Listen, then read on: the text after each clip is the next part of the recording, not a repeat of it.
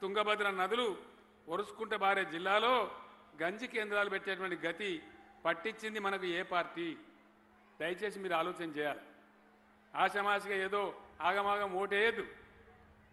మహబూబ్ నగర్ జిల్లా ఒక నలభై యాభై ఏండ్లు చాలా బాధలు చాలా కరువు చాలా వలస అనుభవించేటట్టు చేసిన ఆ గతి పట్టించిన పార్టీ ఎవరు?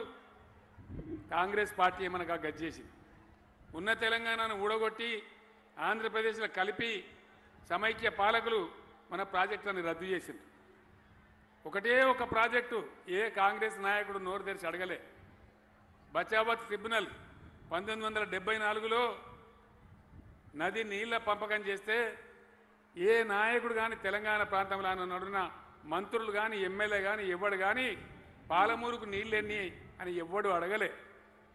చివరికి బచావత్ నేను చెప్పేది రికార్డులో ఉంది. నేనేదో రాజకీయం కోసం చెప్తలేను. ఇప్పుడు కూడా బచావత్ ట్రిబ్యునల్ చదివితే దానిలో ఉంది రాసి ఉంది. ఏమనుంది?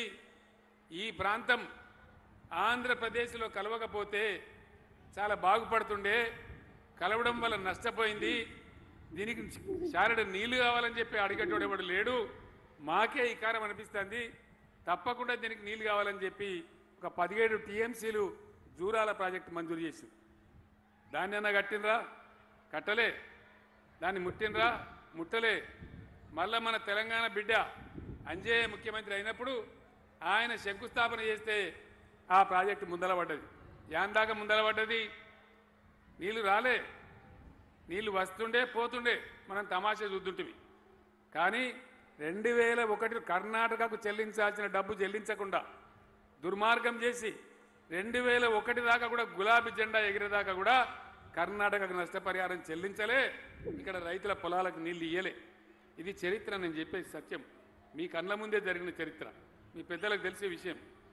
ఇంత అన్యాయం చేసిన పార్టీ పాలమూరును సర్వనాశనం చేసిన పార్టీ కాంగ్రెస్ పార్టీ. ఇది చరిత్ర నేను చెప్పేది. రాజకీయం కాదు. ఇది అవునా కాదా?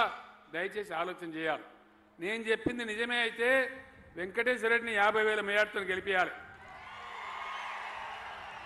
మీరు తెలుసుకోండి మాట మీ పెద్దలను తెలుసుకోండి. నేను చెప్పిన మాట చాలా టైం ఉంది ముప్పై తారీఖు దాకా. నేను చెప్పేది నిజమా అబద్ధమా మీరు తెలుసుకోవాలి. నిజం కాకపోతే మమ్మల్ని ఓడించండి. మేము ఎప్పుడు అబద్ధాలు చెప్పం చెప్పే అవసరం మాకు లేదు. మీ అందరికి తెలుసు. ఆనాడు ఒక్క నాయకుడు కూడా ముందరికి రాలే. నేను పక్షి తిరిగినట్టు పిడికిన మంది మీ తిరిగి యావత్తు తెలంగాణను లేపి మేము ఎన్నిసార్లు వచ్చినా నేను దేవోదయ కథలకు ఎలక్షన్ టైంలో ఎన్నోసార్లు వచ్చినాం. ఎన్నో సమావేశాలు పెట్టుకున్నాం. దేవరకథ గ్రామాల్లో కూడా పెట్టుకున్నాం. ఆ రోజు తిరిగి యావత్తు తెలంగాణను లేపితే మీరందరూ ఎక్కడికక్కడ ఉద్యమం చేస్తే అది కూడా మళ్ళీ కాంగ్రెస్ దోకా చేసింది. రెండు వేల నాలుగులో మనతో పొత్తు పెట్టుకొని తెలంగాణ ఇస్తామని చెప్పి వెంటనే రెండు వేల ఐదులో రెండు వేల ఆరులో ఇవ్వాలి కదా. ఇవ్వకుండా ఇక్కడ అక్కడ అధికారం సంపాదించి మళ్ళా నాంచివేత ధోరణి మొదలుపెట్టింది. వైఎస్ రాజశేఖర్ ఎట్లా చెప్తే అట్లా మన పార్టీని ముంచే కార్యక్రమం చేసినారు. మన ఎమ్మెల్యేలను కొనే కార్యక్రమం చేసినారు. ఉద్యమాన్ని మళ్ళీ పెడదారి పట్టించే ప్రయత్నం చేసినారు. కానీ మొండిగా ఈసారి కేసీఆర్ సచ్చుడో తెలంగాణ వచ్చుడో ఏదో ఒకటి కావాలని చెప్పి మొండి పట్టుదలతో మనం పోతే మీరందరూ కూడా వెంట ఉండి ఉద్యమాన్ని నడిపితే పద్నాలుగు సంవత్సరాల పోరాటం తర్వాత చివరికి నేను ఆమరణ దీక్ష పడితే తట్టుకోలేక అప్పుడు దిగివచ్చి తెలంగాణ ప్రకటన చేసినారు.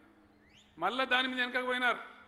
మళ్ళీ ఒక ఏడాది రోజులు దాదాపు వందలాది మంది పిల్లలు చచ్చిపోయినారు చాలా పెద్ద ఉద్యమం జరిగింది. ఆ రోజు ఇక తప్పని పరిస్థితుల్లో గతి లేక కాంగ్రెస్ పార్టీ తెలంగాణ మంజూరు చేయక తప్పలేదు. దేశంలో మనం మొత్తం ముప్పై మూడు పార్టీల మద్దతు కూడగట్టి అదంతా చేస్తే పద్నాలుగు సంవత్సరాల తర్వాత పదిహేనవ ఏట తెలంగాణ ఇచ్చినారు. ఇది పరిస్థితి. వచ్చిన తర్వాత ఏం జరిగిందో ఈ పదేళ్ళలో మీ కళ్ళ ముందర ఉన్నది. ఎట్లా ఉన్న పాలమూరు ఎట్లయింది? పెండింగ్ ప్రాజెక్టులన్నీ యుద్ధం పట్టినట్టుగా మీ ఇద్దరి మంత్రులు ఆనాడు లక్ష్మారెడ్డి శ్రీనివాస్ గౌడు నిరంజన్ రెడ్డి గారు వీళ్ళందరూ పట్టుబట్టి ఆనాడు నెట్టెంపాడు కానీ భీమా కానీ కల్వకుర్తి కానీ ఆ పెండింగ్లో ఉన్న ప్రాజెక్టులన్నీ యుద్ధ ప్రాతిపదికన కంప్లీట్ చేసి నీళ్ళు తెచ్చుకుంటే కొన్ని తెచ్చుకున్నాం. మీ దగ్గర కూడా కోయిల్ సాగర్ లిఫ్ట్ మొదలుపెట్టినారు కానీ పెండింగ్లోనే ఉండే వెంకటేశ్వర రెడ్డి దాన్ని పట్టుబట్టి దాన్ని నిలబడి చేయించి ఈరోజు కొన్ని కొత్త నీళ్ళు వచ్చే ప్రయత్నం చేసినారు. నిన్నగాక మొన్న మీ అందరు తెలిసి మీ కళ్ళ ముందరనే నేనే పోయి పాలమూరులో స్విచ్ వచ్చిన పాలమూరు రంగారెడ్డి పథకం దాని అడ్డంకులన్నీ తొలగిపోతూ ఉన్నాయి. అది త్వరలోనే నీళ్ళు రాబోతా ఉన్నాయి.